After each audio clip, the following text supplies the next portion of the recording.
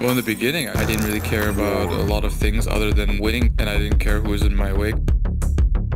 I thought that if, like, I lose TI, my career was in jeopardy.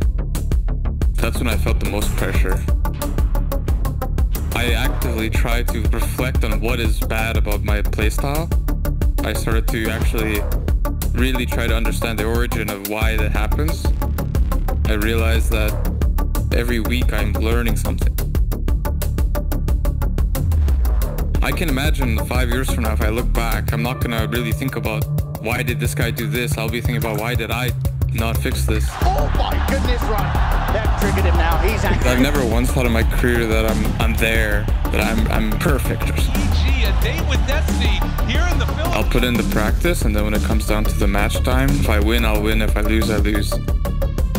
I won't really think about it because if I gave it my all and I didn't win, then that's all I can do. Arteezy. He's going for He's more. out. I'm not like born to win. I'm not, I'm not like expected to win every game I play just because of my name.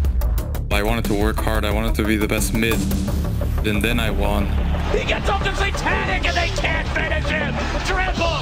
It's a rampage. I never feel content. Artour unstoppable. In the beginning, I thought that it was kind of like unlucky, but I put in 30,000 hours in this game. It's not luck.